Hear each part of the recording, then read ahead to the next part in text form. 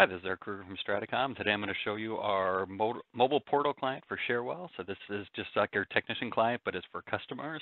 And so it's more portal functionality where they can look at their tickets, do approvals, create tickets. Um, but it's, it's just for the, from the customer viewpoint. So kind of the same functionality you'd have in the portal. I'm just going to open this up. I've got it installed on this Android phone. I'm going to log in as Emma. And we'll take a look here. Of course, anything here can be customized, tailored to your own company's uh, color schemes. These buttons, I set up this site in about a half an hour, so it doesn't take very long to, to set up. I set this up from scratch. Um, any buttons that you want on here, it can, it can, mirror your portal how you have it now, or you can have it, you know, a, stri stripped down portal with the most popular things for uh, mobile users. Um, works great on a phone, a tablet, even a desktop. it's just a, definitely a different way of looking at Cherwell's portal. So we're going to start with My Tickets for Emma. These are all the tickets that she has open. So she can scroll through these or tap into one to, to take a look at it. Um, she can see the uh, information about the ticket and can also scroll through the ticket and the different tickets down here. And then we can give her actions that she can do. She can add a note or resolve this ticket, basically back it out. So let's just add a note. Click OK. And that'll add a note to this ticket.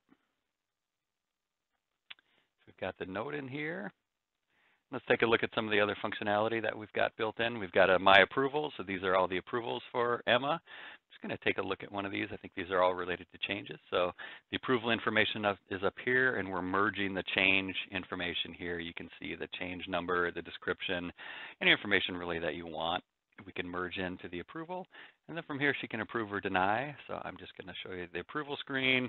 She can add an approval comment or the denial kind of the same thing. She can add a deny an approver comment and deny this. So you can also add templates. We've got some templates set up in another system where you can approve or deny for budget or deny for technology, kind of some templated reasons that you can set up um, so they can do their approvals. We can also just create a generic ticket. So this one's really simple. Um, just going to put some text in here. So you can create a test ticket hit OK, and it'll give you all the information about the ticket. So you can see we hard-coded the priority. Um, the owned by team, it automatically gets assigned to first level. I hard-coded the service category, subcategory in. It's got the customer. It also has the resolve by deadline on here. Of course, you can put any, in the status, you can put any fields you want in here. It's really simple to add fields. Um, StrataCom does do all the setup for this. And I've also got a create printer incident, so you can template like really common things. So if your POS system is down or if you've got uh, network outage, you can have like templated um, things in there. So I'm just going to put, uh, oh, my browser stack's going a little crazy. Do test here, hit OK. And this will give us a, a, printer incident so we can see the service is printing, um, submit incident owned by first level support. And it's got some of the specifics, but it didn't ask us to fill out any of the specifics because we just wanted to make it simple. Uh, and I'll walk you through maybe creating a categorized request. So this would be more categorizations. I can put in a description, and then I can put in, I'm just going to do the same printer one, only categorize. So put in printing, put desktop, and submit incident. And that'll give us our specifics. So if we do have any loose cables, so all the things that we want to check, the power on, is the toner low.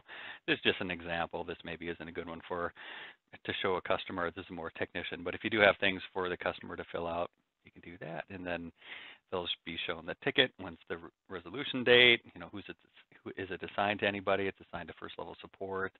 Um, so that's about it. So really you can put anything on here you want, any any type of create record, uh, they can work with any records they have at incidents or work orders or approvals, anything really from the customer side that they wanted to check they can do.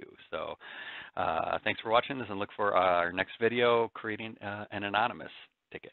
Thank you.